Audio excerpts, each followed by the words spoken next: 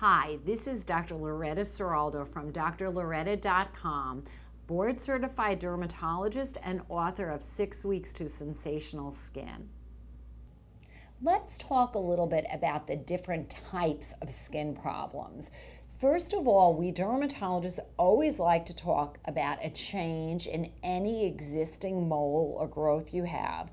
Any of this, whether it's a change in the color, in the symptoms, if you have an existing lesion or mole and all of a sudden it's becoming itchy, if it's bled, if it's become darker or lighter or grown rapidly, please bring that problem to a board certified dermatologist to assess, and you may need to even have a biopsy.